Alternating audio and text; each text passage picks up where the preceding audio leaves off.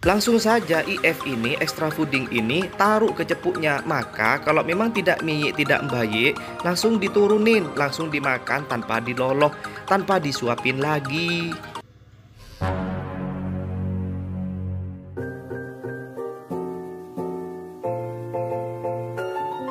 Sain UU, tasain UU. Assalamualaikum warahmatullahi wabarakatuh Berjumpa lagi dengan channel yang membahas tentang seputar burung Peliharaan, beternak burung Baik itu beternak sendiri atau meliput narasumber-narasumber yang beternak burung. Baik itu burung rumahan, burung ocehan maupun burung kicauan teman-teman.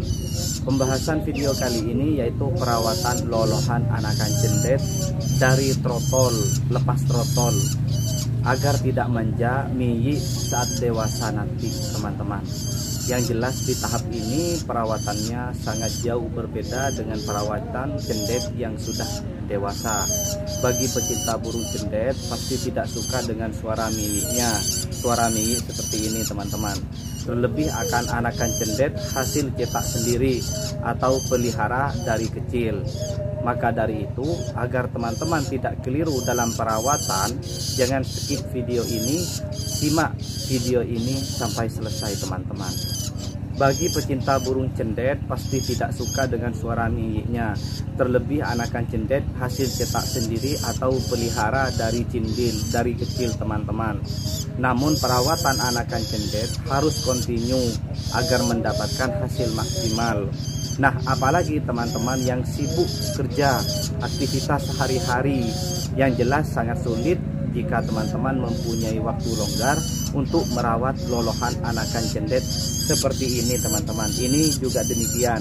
Dari kecil dari masih bulu kapas, bulu jarum dirawat, diloloh sampai trotol lepas trotol seperti ini teman-teman sampai mandiri yang pertama kenapa anakan cendet nih pastinya lapar teman-teman biasanya miyi bayi suara seperti ini ketika melihat majikannya lewat atau terlihat oleh anakan cendet biasanya bunyi seperti ini.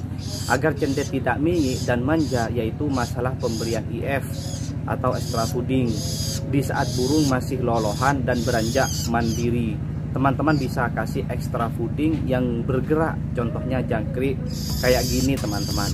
Bisa juga ulat namun kalau ulat sifatnya panas jadi saya sementara belum memberinya jika masih belum mandiri. Kenapa harus diajarin demikian?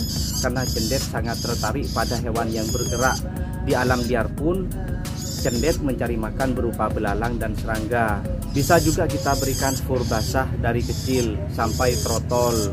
Namun yang jelas anakan cendet harus kita loloh terus meskipun itu dari fur atau IF. Harus kita suapin ke paruhnya.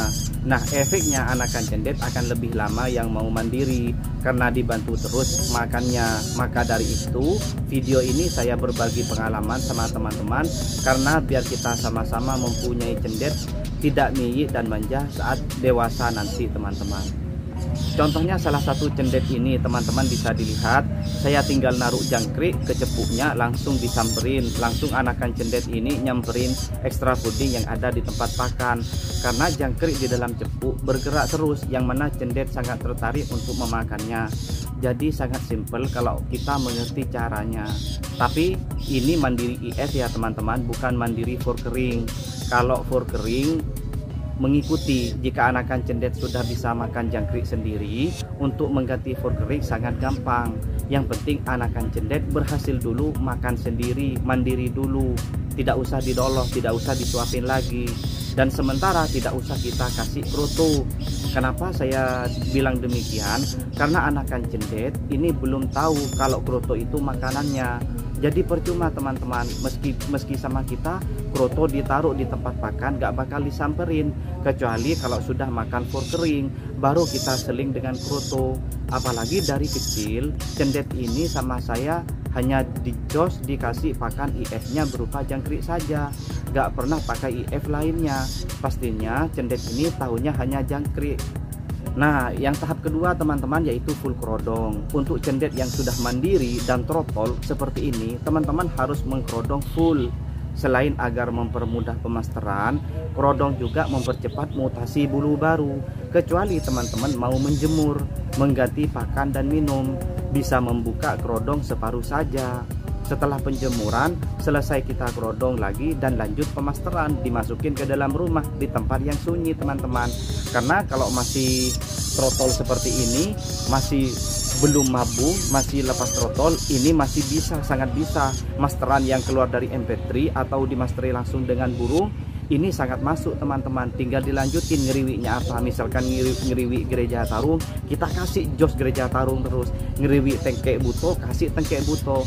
Ngeriwi misalkan itu cililin kita kasih cililin teman-teman. Maka akan tambah fasih ketika saat dewasa nanti teman-teman.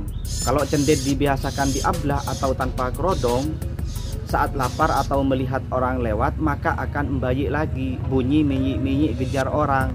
Maka full kerodong di saat masih trotol seperti ini teman-teman.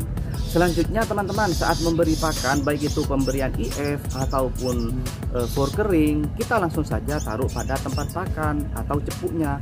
Jangan lagi disuapin seperti yang belum mandiri kemarin agar supaya cendet trotol membiasakan makan sendiri kalau sama kita ngasih IF masih disodorin ya bakal manja dan mini terus teman-teman. Meskipun sampai dewasa ya tetap baik tetap manja tetap nyam, nyamber ke bawah nyamperin kita teman-teman. Kalau kita lihat di dekat sangkar pasti mini makanya itu hindarin teman-teman. Dan bagi teman-teman saat bertatapan dengan cendet jangan selalu menggoda pakai tangan atau mengkudang alangkah baiknya jangan dilakukan agar cendet peliharaan teman-teman tidak biasa manja miyik dari kecil. Apalagi teman-teman meliharanya dari lolohan. Cendet kalau memang sudah gacor rajin bunyi. Tanpa digoda pun langsung bunyi berkicau. Buka kerodong langsung ngoceh berkicau teman-teman Nah mungkin begitu saja ya teman-teman Perawatan harian lolohan anakan cendet Agar supaya tidak nyiyi membayi dari trotol sampai dewasa Semoga ini bermanfaat Mohon maaf bila ada salah kata saya sebagai moderator channel ini pamit undur diri mewakili kerabat kru yang bertugas. Mohon maaf bila ada kata yang menyinggung. Om Swastiastu. Assalamualaikum warahmatullahi taala wabarakatuh.